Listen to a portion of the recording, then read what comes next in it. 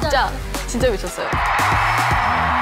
정말 날 것이라서 에스파를 하면서 있었던 일들이 담겨 있는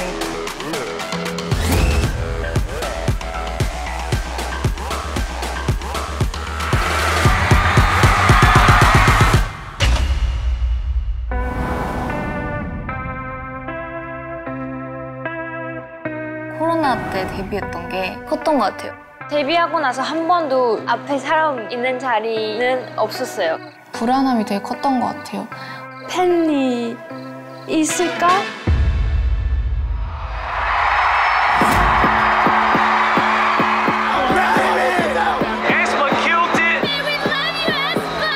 첫 관객이 있는 무대. 첫 쇼케이스니까 이게 무대지.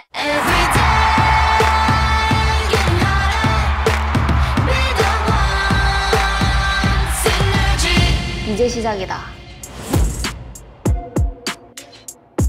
이젠 또 다시 새로운 모습을 보여줄 때인 것 같아서 이제 단독 콘서트 하면은 저희 했나요? 뭐 했어요 저희? 저희 뭐 했어요? 그룹 버킷리스트를 하나 이룬? 저는 무대 공포증이 있거든요. 혼자 무대를 못 써요.